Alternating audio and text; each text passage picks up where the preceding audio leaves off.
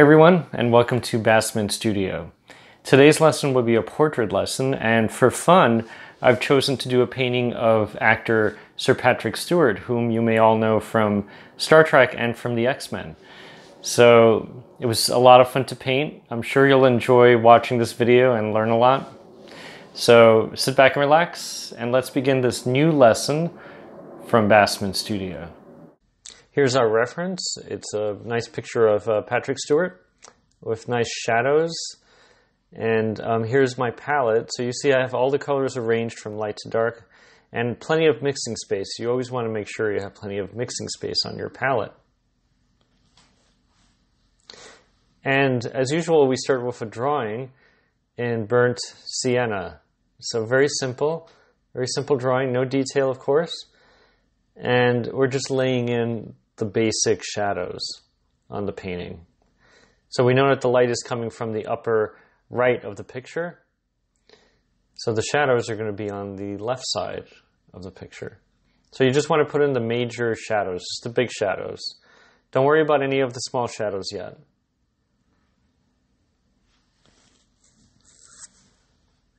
And you just want to go all around, like the clothes, anywhere where you see big shadows.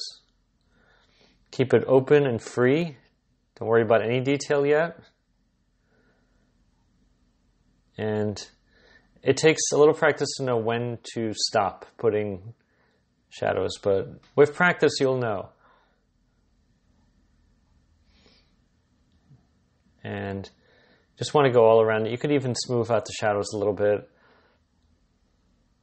Make sure that you put every major shadow in there, and it should start to turn right now. You should start to see volume right now in your painting, even at this early stage. I consider this like the what we call the underdrawing. And I'm just going around kind of nitpicking the shadows a little bit and softening it up.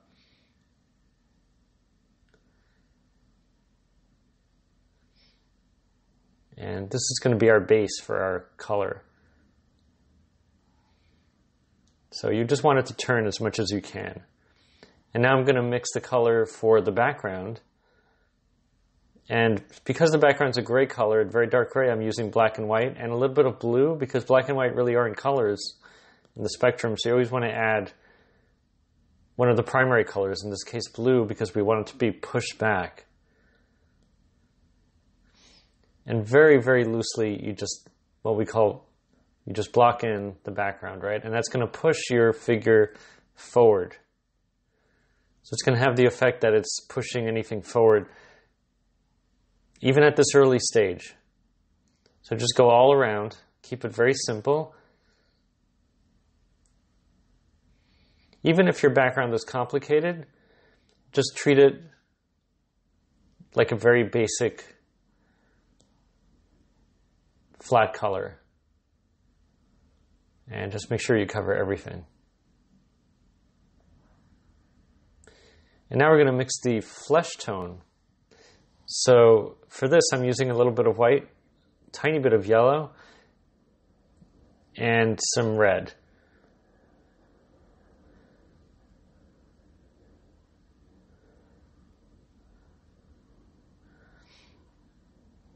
So we get like a nice flesh color. And again, you just want to very simply lay in the flesh color, like go all around.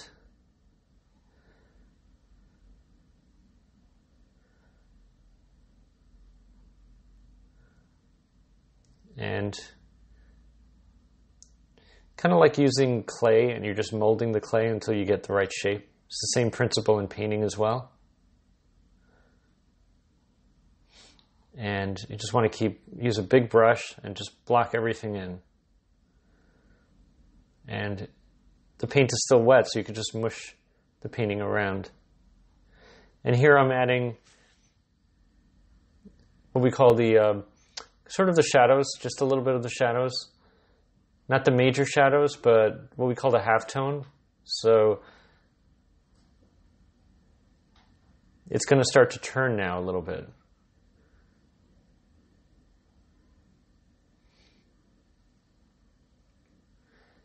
And again, just go all around. Remember, you don't want to just focus on one area.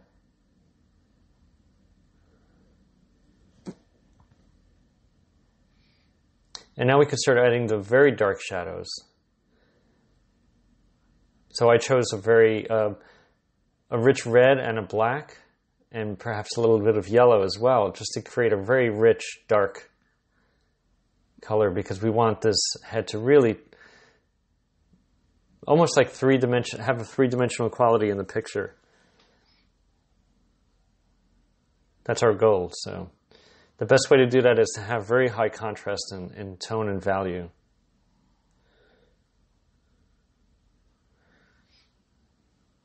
And again, you just want to keep everything simple and just want to move around the painting. And you can see it's start, starting to look like a face. At this early stage, it should start to look like a face at this point.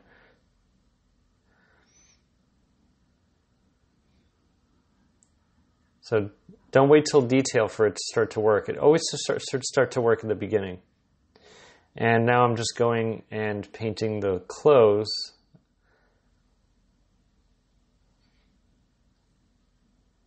Again, very simply and very, very broadly.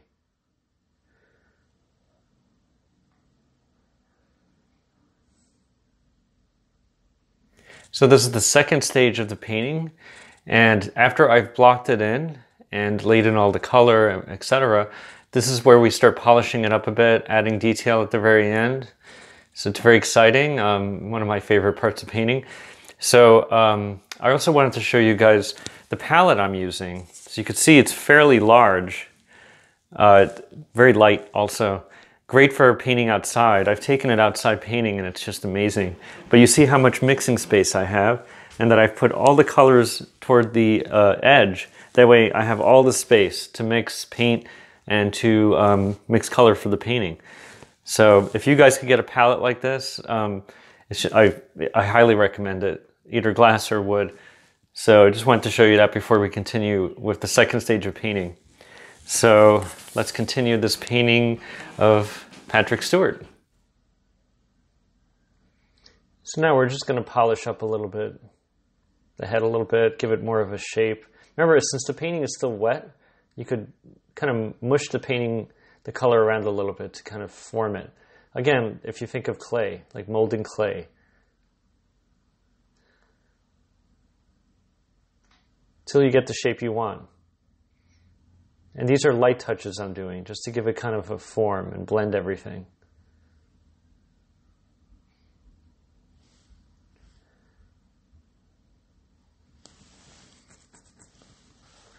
And just smoothing it out a little bit to give it a little bit more form.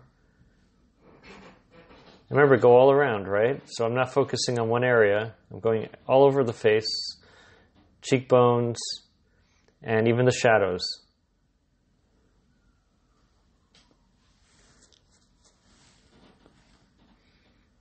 And we're just blending a little bit just to kind of give it,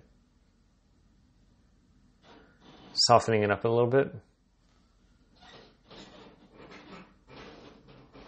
And now we could work on the background as well. Go back and polish it up a little bit and smooth it out.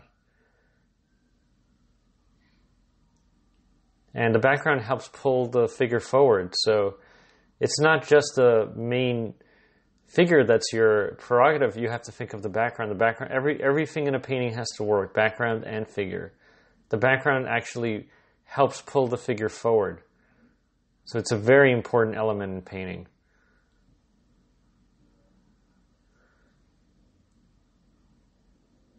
And just change. You could even change, like I'm changing some of the flesh tone a little bit. So of course you can do that if you think something should be darker or lighter. It's, always good to correct something if you if it needs to be corrected.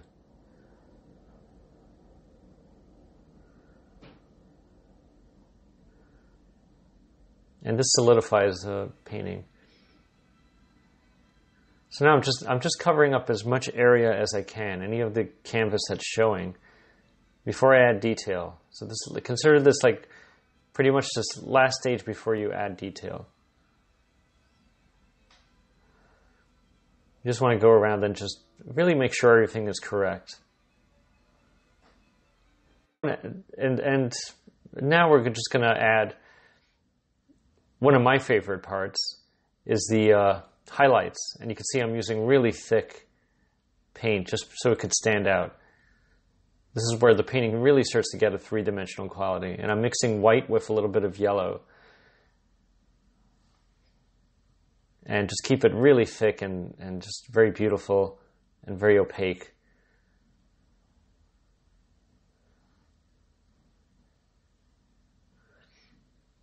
And you can see there's a highlight right on the top right of of the head. So we're just going to put that in there very thick and that's going to give our painting um, a real three-dimensional effect.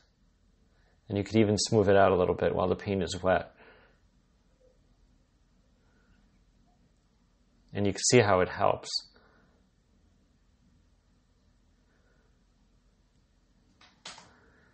Sometimes a highlight is subtle, sometimes it's it's very, very bright.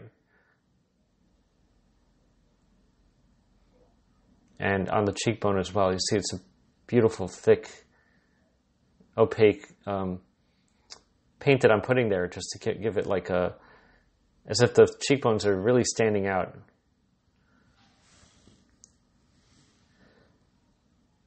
And again, you keep smoothing it out until you get it right. You blend it in. But try to keep it opaque at this point because we want the highlights to really stand out.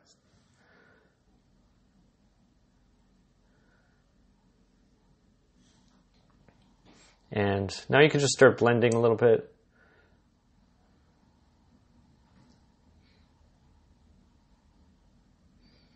And just polishing up before we actually add any of the very fine details.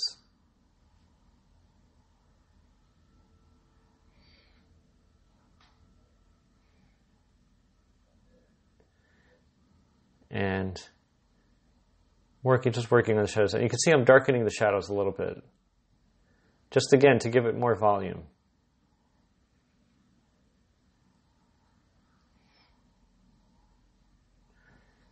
And it's really helping pull, push the figure back, push the shadow part of the figure back. So it's almost as dark as the background.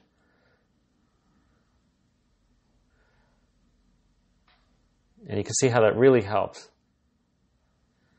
And these these are all done very gently. It's not it's little by little. So patience is, is very important when you're painting. Just don't rush anything.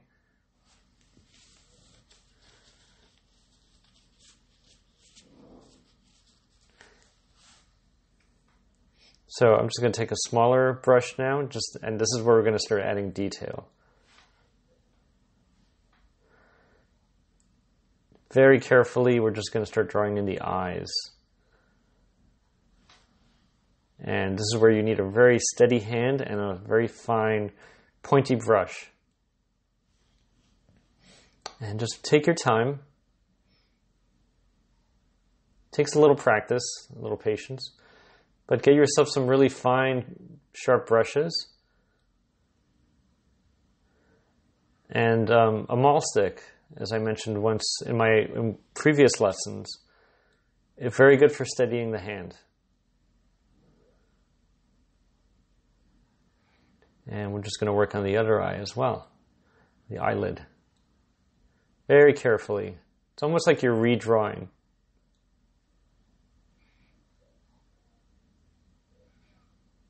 You almost want to hold your breath when you're doing this, just to keep your brush steady.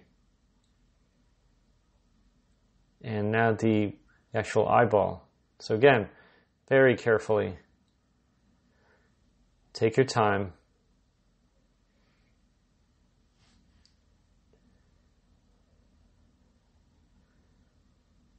And yeah, we just want it to look round and in its socket. So it's very important that you get this right. And remember, in portraiture, there's always a dominating eye. One eye is always much more prominent than the other eye. So we're just going to use another brush.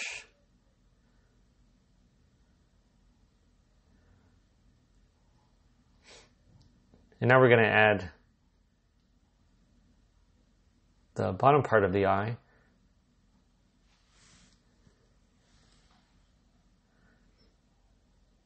Very carefully.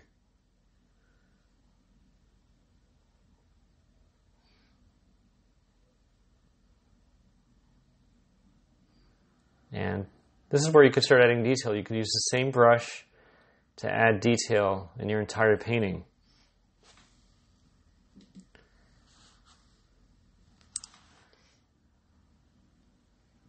So we're just going to start working on small, very small things right now. Just the pupil. And you can see it's starting to kind of look like a pupil, like starting to kind of turn and have some sort of depth.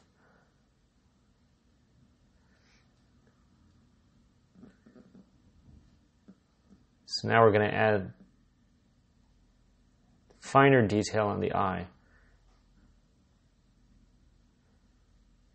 This really, really, really, as you can see, this brush is extremely fine and very sharp, specifically for these details.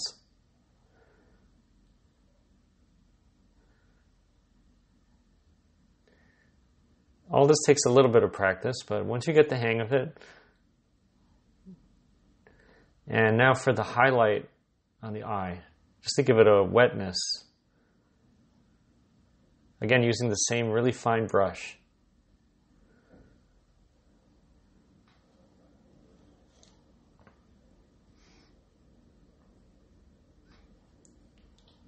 And we could do the same for the other eye. Again, not as prominent as one eye is always more prominent than the other eye. And now we could start adding the very small details, such as the eyebrows.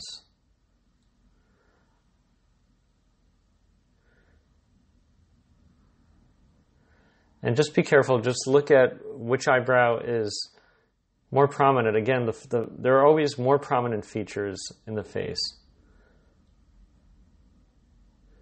and the other eyebrow. So little by little, it starts to look like a face.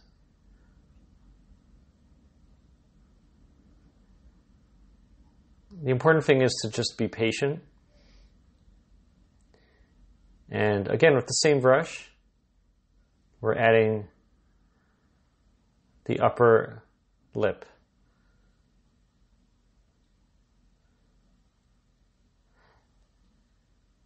And of course, we need that part, right? So, again, just steady your hand, don't rush.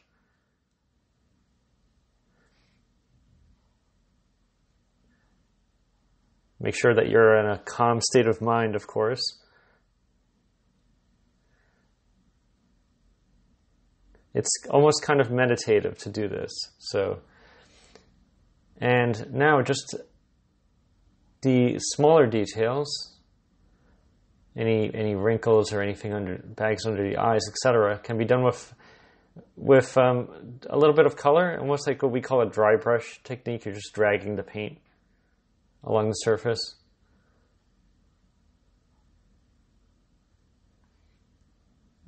And I can even blend. As you can see, I'm blending a little bit. So I, I this is one of my favorite parts because once you know everything works, this is just the finer, small things just to give it a magical quality.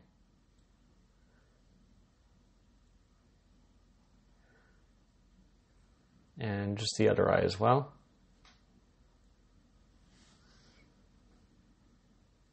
Hey everyone, I just wanted to talk about my latest illustrated book called Cosmic Paintbrush. It's a book that has uh, illustrations uh, done from original paintings by me. I also wrote the book. It's a very easy read and it's very positive, full of positive energy, and full of very colorful illustrations, as you can see. So a lot of the illustrations are double page spreads. So you have these like very colorful large illustrations in it. And it's a great, easy read. So if you're interested, you could buy it either on Amazon.com or on Lulu.com. Links are in the description in this video. So buy your copy today. And one last double page spread, as you can see that one. So again, these are all from original paintings by me. So take a look and uh, buy yours today. So now back to our video, which is about painting a portrait. So now we're mixing a little bit more paint here on my palette. And this is more for the highlights. Now the highlights on the nose. A loaded brush full of beautiful thick paint. And this is to give the nose a three-dimensional quality and make it stand out. And you can see how thick the paint is.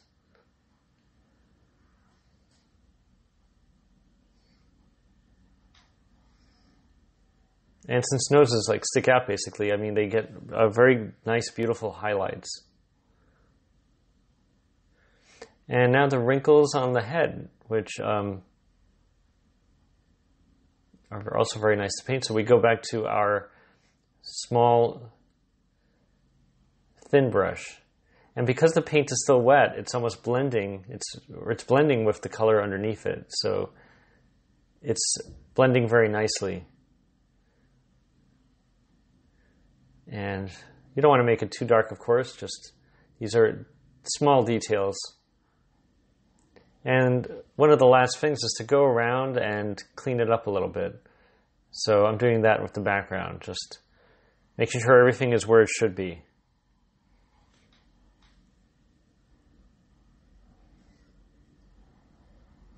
And just adding the last few details. Anything I might have missed.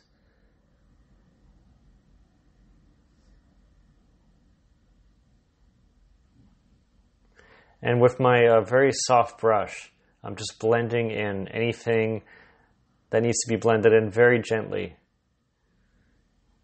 This is a very fine, soft brush, just to just to what I use to blend everything. And here's our finished painting of Sir Patrick Stewart, completed.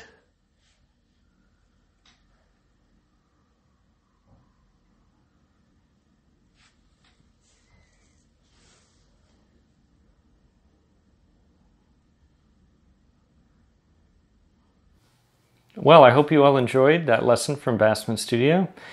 Remember, if you have any questions or comments, please leave them in the comment section. Um, I'd be happy to answer any questions you may have regarding materials or techniques. Also, um, if you haven't subscribed, please subscribe to my channel, Basman Studio, and stay tuned for new videos which are coming soon. If any of you would like to see a certain aspect for me to cover that I haven't covered yet, uh, or to go over something again that I've, I've already covered, please let me know. And um, remember, just keep painting and drawing. Don't let fear stop you from being creative. Go out there, produce great art, and be expressive. Don't let anything stop you. So I'll see you all very soon. Enjoy the amazing spring weather. Take care, everyone.